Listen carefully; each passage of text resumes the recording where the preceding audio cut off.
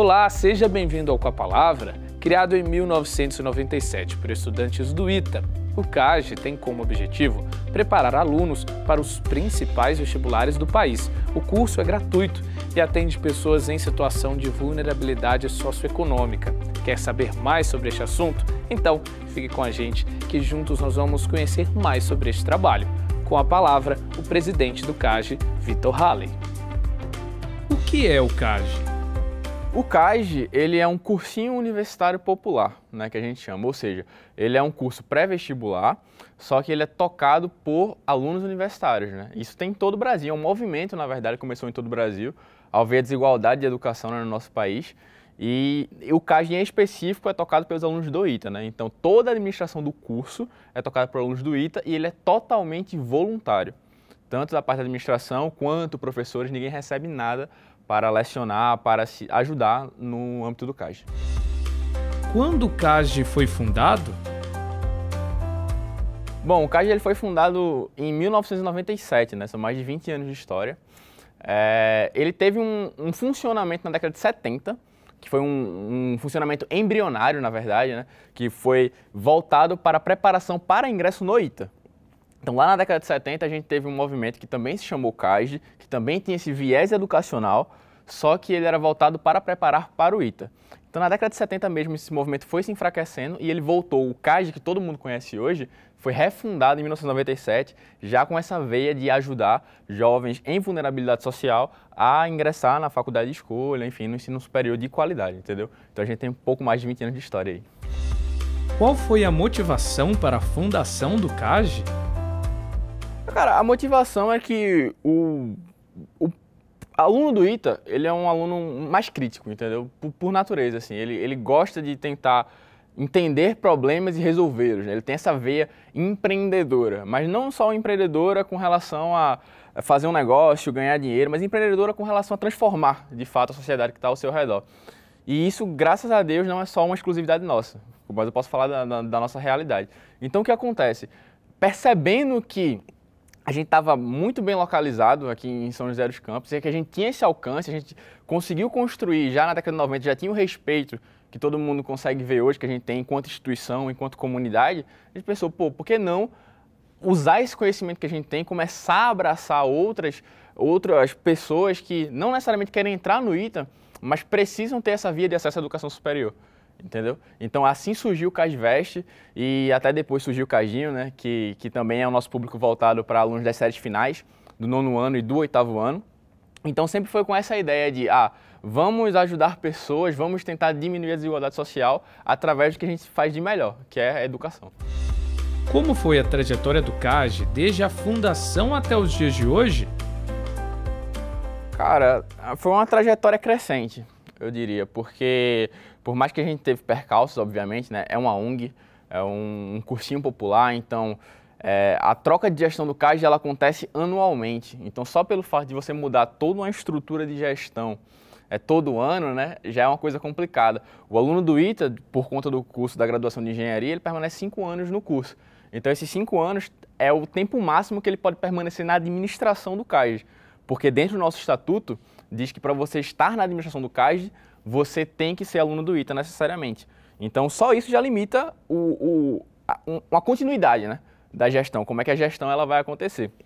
Então, sempre, nosso maior gargalo até hoje é esse de a troca de gestão. Sempre tem um tempo para que o novo time entre e tal. Claro que a gente tem é, o processo de cogestão, tem toda a fluidez, tem todo, ó, faz assim, faz assado. Não é um, ah, sair do CAGE agora, quem entrou aí que se vire, entendeu? É uma coisa bem paulatina, bem gradual. Mas claro, se você está pegando pessoas que não estavam é, em cargos de diretoria, na cargo da presidência, que é o cargo que eu ocupo hoje, e ele estava em outra, outra função dentro do CAGE e assume esse cargo, você tem que ter o tempo de adaptação, você tem que dar esse tempo para que as coisas comecem a fluir de novo naturalmente. Então, esse foi o, o grande desafio. Porém, foi sempre um, um, desafio que foi vencido e vem sendo vencido até hoje, inclusive no ano passado, quando a gente teve essa coisa da pandemia, né, que todos estão cientes que a gente está vivendo esse momento ainda. E a gente conseguiu ter aprovações expressivas, enfim. O CAGE ele é um contínuo crescimento, uma contínua capacidade de adaptação e tudo isso de forma assim, por amor, sabe? Tudo isso por realmente ter esse espírito voluntário dentro da gente, querer ser agente de transformação social. quais são os principais projetos que o CAGE desenvolve? E a nossa veia e no que a gente é bom é ensinar, né? é em promover uma educação de qualidade para que a gente consiga é, viabilizar o acesso a ensino de qualidade para esses jovens que chegam até a gente. Então, o nosso principal projeto é esse: é sala de aula, é lecionar e fazer isso da forma mais estruturada possível, com estrutura de simulados, com material didático, com tudo isso. Porém, a gente tem esse, essa coisa dentro do nosso coração de, de tentar estruturar coisas que estão dentro do nosso limite, só que não necessariamente abrangem a sala de aula. Então, por exemplo, a gente tenta fazer projetos de, de, campo, de visita, agora não, né, por causa da pandemia, mas de visita a museus, aulas expositivas em parques, tenta, é, tem uma feira de conhecimentos aqui é, que está acontecendo em São José dos Campos, no Vale, a gente tenta levar, a gente tem parceiros que nos ajudam nesse, nesse, nessa comunicação também, sabe? É, a gente tem rodas de psicanálise que estão vigentes hoje, que são alunos voluntários do curso de psicologia e afins, que doam o tempo deles, fazem esse projeto com a gente também. A gente tem acompanhamento psicológico no curso, sabe? Então, assim, a gente tenta abraçar também o, o além sala de aula, dentro dos nossos limites, mas é uma coisa que a gente não tem essa visão fechada. A gente sabe qual é a nossa missão, qual é a nossa visão, mas a gente também sabe que existem coisas que a gente sempre pode melhorar, existem coisas que são fundamentais para que a sala de aula reflita o que esses alunos precisam e o que eles querem, entendeu? Então a gente tenta fazer de forma com que o CAG seja uma família, de fato, entendeu? Uma família responsável, uma família que sabe que não pode abraçar o mundo, mas que sempre vai estar disposta a dar um abraço também. Quais são os objetivos e características do CASDinho e do CASDVeste? É, o Cajinho e o Casveste né, são cursos, primeiramente, é, é bom distingui-los. Né? O Cajinho ele é o nosso curso voltado para as séries finais, ou seja, para alunos do oitavo ano e do nono ano do ensino fundamental. Então, qual é a missão do Cajinho? A missão do Cajinho é pegar esse jovem do ensino público que não tem condições de ter acesso ao ensino médio é, de qualidade numa escola privada ou num grande referência do setor público também, uma escola técnica, um ETEC, um IFSP, entendeu? e a partir disso prepará-los. Então, nosso público do Cardinho ele é voltado para ingressar no ensino médio de qualidade.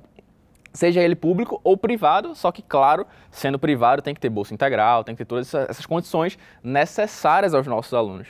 Já o Casiveste a gente trabalha com um público de terceiro ano, né, o público pré-vestibular, o público que quer ingressar no vestibular, porém, é, a gente não restringe isso a eles, né, do terceiro ano. Por exemplo, você já terminou seu ensino médio há 5 anos, há 10 anos, você quer entrar no Casveste, você pode, você vai ter o mesmo acesso a tudo, sabe?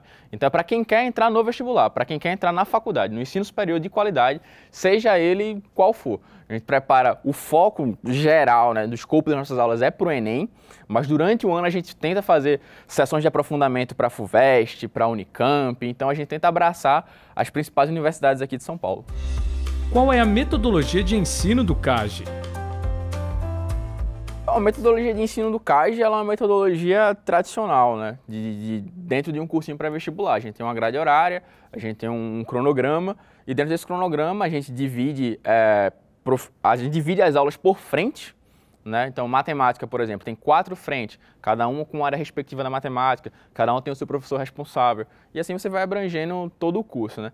Já no, no Caginho, né, que é um pouco diferente, a gente tenta focar mais na parte de português e matemática, porque como eles estão no ensino fundamental ainda, né, a parte de ciências naturais não é tão profunda, etc. Mas a gente mesmo assim, né, nossa veia do ITA sempre leva um pouco para exatas, então a gente sempre tenta dar é, uma carga a mais de conhecimento para eles, alguns, é, algumas ideias, algumas preparações já para que eles entrem no ensino médio um pouco mais preparados. Mas uma outra coisa também que diferencia na nossa metodologia é justamente o que eu falei anteriormente, essa parte da, da completude do conhecimento. Às vezes o aluno tem uma aula de história e pode visitar um museu, né, dentro, de um, dentro de um universo pré-vestibular, o que não é comum. Na escola regular, isso é comum. Agora, no cursinho pré-vestibular, isso não é comum e é algo que a gente tenta fazer, sabe? A gente tenta também, agora principalmente na pandemia, né, promover discussões, promover lives, promover aulas interdisciplinares, que é um, uma das características mais cobradas em todos os vestibulares, não só no Enem, nesse ano. Nesse ano não, né? Nessa, enfim, nesses tempos atuais. Então, tipo assim, a gente sempre tenta fazer essa completude. É o método tradicional, porque infelizmente ou felizmente, né, isso aí abre mais para várias discussões, é o que é cobrado. Então não adianta também a gente só. A gente enxerga a educação de uma, de uma forma, tentar aplicar só esse método e não se adequar ao que é pedido para você entrar na universidade, que é basicamente você acertar questões. Então a gente tem que ter esse, essa veia, só que a gente tenta nunca deixar escapar a cidadania dos nossos alunos. O entendimento do quanto aquilo é importante para a vida dele, para a sociedade como um todo e o porquê ele está fazendo aquilo, o porquê ele está passando por esse processo. Então, no fim das contas, a metodologia do CAG ela é baseada nessa resposta. Você tem que responder o porquê você está aqui. Então, isso é o que nos baseia. Quais são os pré-requisitos para se tornar aluno do CAG? Todo ano, o edital ele pode sofrer alterações, porque também, diante do nosso estatuto, todo ano a gente se reúne em Assembleia Geral, né, com professores e afins, com todos os voluntários do curso, para arbitrarmos sobre o edital. Né? Tentamos pegar situações, por exemplo, no ano passado a gente teve uma mudança significativa no edital do CASVEST. O CASVEST sempre foi, faz a prova e tem a entrevista socioeconômica.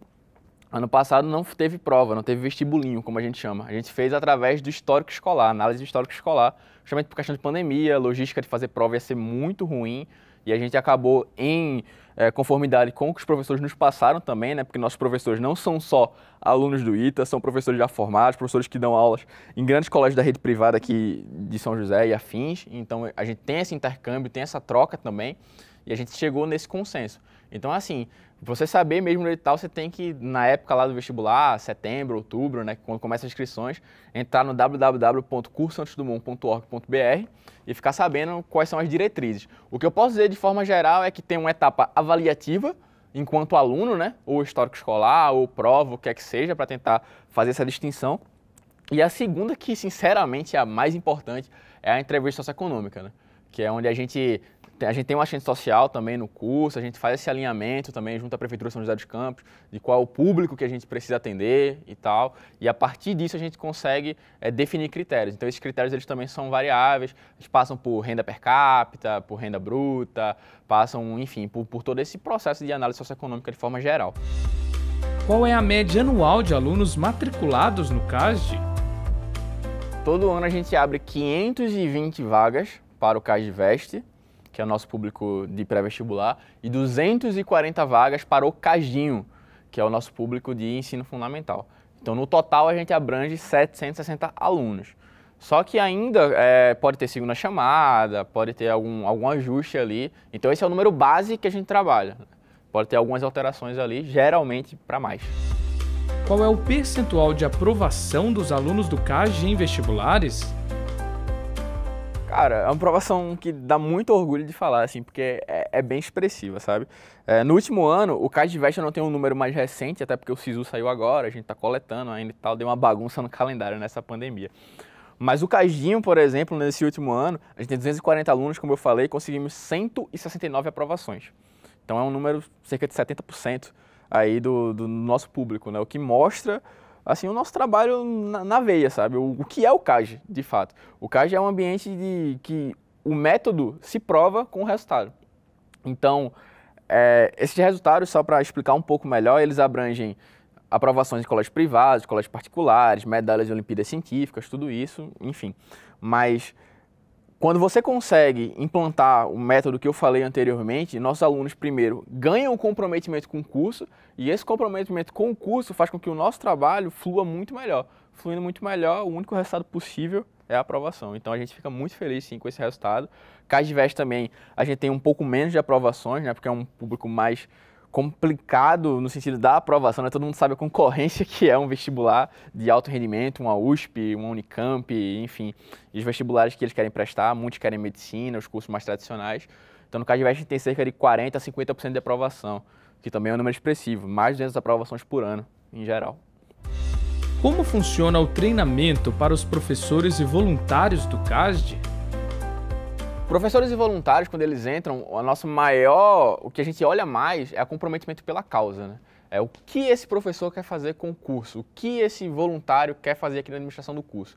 Então, nossa, nosso processo seletivo, para os dois tipos, ele é baseado em avaliação daquela função específica, né? então no caso do membro administrativo a gente vai ver, fazer uma dinâmica, vai ver como é que ele funciona dentro de um time, né? como é que as coisas vão acontecer e para os professores a gente faz uma aula teste. Passada essa função específica, vamos dizer assim, a gente traz para a nossa realidade. A gente faz uma entrevista, cerca de 40 minutos a uma hora, entrevista longa, uma entrevista profunda, onde a gente tenta avaliar o que essa pessoa realmente quer com o CAS, qual é o comprometimento pela causa que ela tem, porque esse é os nossos valores institucionais, né? Dentro da nossa missão, visão e valores, o comprometimento pela causa é um dos mais importantes que a gente não abre mão de forma alguma. Então, beleza, esse cara, essa pessoa, ela entrou né, no, no curso. Qual é o próximo passo agora? Fazer os treinamentos, como você fez. Então a gente tem a nossa própria base de treinamentos, né? Enquanto administração, treinamentos próprios, autorais, vamos dizer assim, né? Só que hoje, o caso, diante da proporção que tomou, né, mais de 4 mil vidas transformadas aí ao longo de 23 anos de história, a gente tem a, a sorte de contar com empresas parceiras que desempenham e que ajudam nesses treinamentos. Ou seja, tem um, um, professor, a gente quer fazer um treinamento sobre sala de aula, sobre lousa, como fazer, como melhorar, como lidar com o aluno, o trato com o aluno no CAG é muito especial, porque a gente sabe que é um aluno vulnerável, é um aluno que precisa, sabe, ter as palavras corretas, de, de saber lidar com ele. Então, a gente tem esse treinamento que a gente consegue fazer com os professores através de nossas empresas parceiras. Tem o nosso membro que chegou agora, que precisa de habilidades técnicas, softwares no computador, de análise de, de média, de simulado, de presença, disso, daquilo. A gente também tem empresas parceiras que nos ajudam, técnicas de oratória, tudo isso, então, a gente tem esse mix entre treinamentos do CAGE e treinamentos de empresas parceiras que se complementam muito bem e fazem o sucesso do curso. Quais são os maiores desafios enfrentados pelo CAGE ao longo desses anos? Essa pergunta é fácil, mas assim, é, é um pouco triste também, porque ela reflete muito do que é o Brasil hoje. Porque o maior desafio do CAGE, com certeza, chama-se evasão. E essa evasão, ela é sistêmica. Não, não tem muito o que fazer para uma parcela dessa evasão. O que eu falo de evasão é não necessariamente abandonar o curso, mas ser inconsistente com o curso, né? não conseguir acompanhar tudo. Por quê? Nosso aluno, ele é vulnerável. Então, nosso aluno, muitas vezes, ele precisa dar conta dos serviços domésticos em casa, muitas vezes ele precisa trabalhar fora para poder né, promover o sustento. Então, a gente briga contra isso, a gente tenta colocar a educação no meio dessa equação, e nem sempre essa conta bate.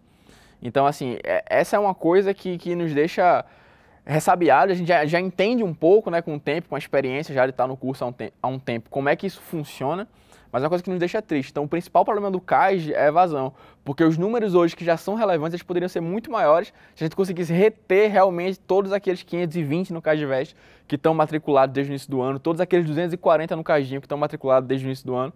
Só que isso não é uma realidade. E não é uma realidade Claro que tem a nossa parcela também de melhoria, claro que a gente não dá isso por guerra vencida, a gente tenta de todas as formas manter o nosso aluno conosco, mas a gente sabe também que tem essa o imponderável, que, que não depende do curso, né? Aquela questão que eu já falei, a gente não consegue abraçar o mundo, infelizmente. Então, se o nosso aluno ele precisa trabalhar para ter o que comer ou estudar, ele vai trabalhar para ter o que comer. Não tem, é uma escolha óbvia, entende? Então, é, é contra isso que a gente, a gente mais tenta lutar e mais falha também. Assim, porque, sinceramente, é muito difícil lidar, porque é uma realidade brasileira, né? Não só daqui do Vale, como brasileira. Quando a gente pega esse público, esse público tem necessidades especiais e por isso que eles são tão vitoriosos quando eles entram no CAS, quando eles se comprometem, que esse é o primeiro passo, e quando eles conseguem essa aprovação é simplesmente espetacular. Como é possível ajudar o CAS em doações e voluntariado? Cara, isso é uma coisa muito, muito, muito importante para o curso. Como eu falei, o curso ele funciona na base total do voluntariado. Ninguém ganha um real para estar ali, ninguém ganha um real para manter o curso. A gente tem uma sede própria aqui no Vale, né? Então essa sede gera custos, gera energia, gera água. Então tudo isso tem que ser pago de alguma forma e a gente precisa de recursos de fato. Então quem quiser ajudar o CAIG, entra lá no site www.cursosantosdumont.org.br e lá você vai ter a aba, né, Seja Doador. A partir de 10 reais mensais você pode contribuir com o curso ou fazer uma doação pontual. Ah, só posso doar esse mês, só posso doar nesse momento agora específico. Vi a sua entrevista, gostei. Cara, doa pra gente porque é muito, muito, muito relevante, tá? Nas nossas redes sociais também, Instagram, arroba CasDSJC, Facebook, Casdiveste Casdinho, a gente também tem outras informações lá para vocês. Nosso programa principal de doação chama-se Amigos do Dumont, né? Curso Alberto Santos Dumont, Amigos do Dumont. Então, através do AD é que a gente consegue fazer essa captação de recursos aí para que o curso possa rodar. Então, o mais importante são as doações recorrentes. O que são doações recorrentes? São aquelas doações que você se compromete a pagar mês a mês, como se fosse um boleto ou alguma coisa assim. Né? Você pode doar tanto através do cartão de crédito quanto através do boleto bancário. Né? É, é uma escolha sua. Então, se você se compromete a doar mês a mês, às vezes é melhor que você doe um valor menor mês a mês do que um valor maior pontualmente. Por quê? Porque isso ajuda na nossa administração. Né?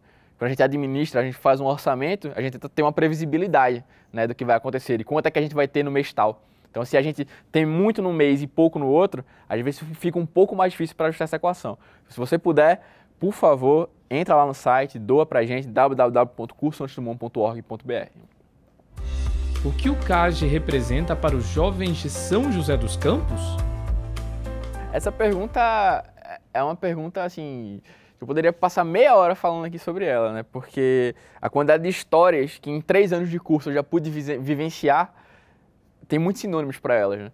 Mas acho que o principal é um dos nossos lemas, uma das nossas frases é, que um dos diretores lá atrás falaram para a gente. Que a frase fala o seguinte: Todos os dias, cerca de 760 jovens saem de casas, saem de suas casas munidos de esperança. Nós não podemos fazer mal feitos. Então, acho que a esperança é o que a gente representa para os jovens que, que a gente atende, sabe? É, muitos deles chegam para a gente com problemas em casa, problemas familiares, problemas de renda, problemas de tudo. Mas a gente consegue promover aquele fiozinho de esperança, aquela coisa que eles vão se segurar, que eles vão se ater e que eles vão começar a acreditar no potencial que eles têm, que também é um dos nossos valores, acreditar que as pessoas têm potencial, não importa de onde elas venham, não importa qual que seja a circunstância. Então, acreditando nesse potencial, esse jovem que tem esperança agora no CAGE, por ser um vetor, ele passa a ter a esperança fundamental, é nele mesmo. Ele começa a se ver parte desse mundo onde a gente vive, parte dessa sociedade. Ele consegue enxergar aonde ele pode chegar. E ele começa a trilhar o caminho. E basicamente, com comprometimento, com o esforço, a gente consegue abrir portas. Eles conseguem abrir portas, né, com o nosso auxílio, e conseguem ver que é possível que é possível você mudar, que não é fácil, que não é simples, mas é possível você conseguir construir o futuro que você sonhou, porque existem pessoas, não só aqui no CAS, volto a dizer, como em todo o Brasil, que olham para esses jovens e veem a esperança do próprio país. Porque quando a gente consegue combater a desigualdade social, principalmente através da educação, a gente promove uma sociedade mais crítica, um agente de mudança social de fato. A gente promove é, ideias que se perpetuam, gerações que podem ser políticos, que podem realmente interferir na nossa vida de forma a transformar o que a gente tem hoje. Então, a gente fala muito, tem um termo que a gente usa muito, que é o ciclo da pobreza. A gente tenta romper esse ciclo. A gente tenta fazer com que esses jovens que estariam fadados, talvez, até um, um emprego de baixa remuneração e a gerar um outro jovem, né, nos seus, seus herdeiros, que também ia ter um emprego, a gente quebra isso. Quebra oferecendo educação, oferecendo criticidade, oferecendo caminhos para essas pessoas. E cada um aí, aluno, aluna, segue o seu e isso é, é muito bonito quando eles voltam cinco anos atrás, cinco anos depois, dez anos depois, voltam para ser voluntários do CAG. Hoje a gente tem professores no curso que são ex-alunos do CAG de 2012, 2013 e, e promovendo, a gente vê o quão essas pessoas venceram, o quão essas pessoas conseguiram.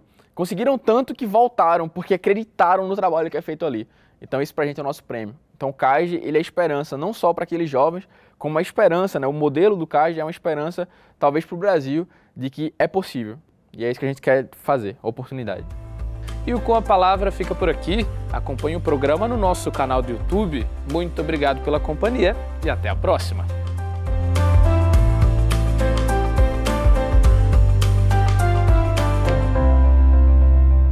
E para você que acompanha os nossos programas e gosta de estar por dentro dos assuntos da cidade e também do trabalho dos vereadores, se inscreva no nosso canal e confira tudo o que acontece aqui na TV Câmara. E se você gostou do nosso conteúdo, não esqueça de curtir nossos vídeos. Deixe aqui o seu like. Deixe o seu comentário e ative o sininho para ser avisado de todas as novidades.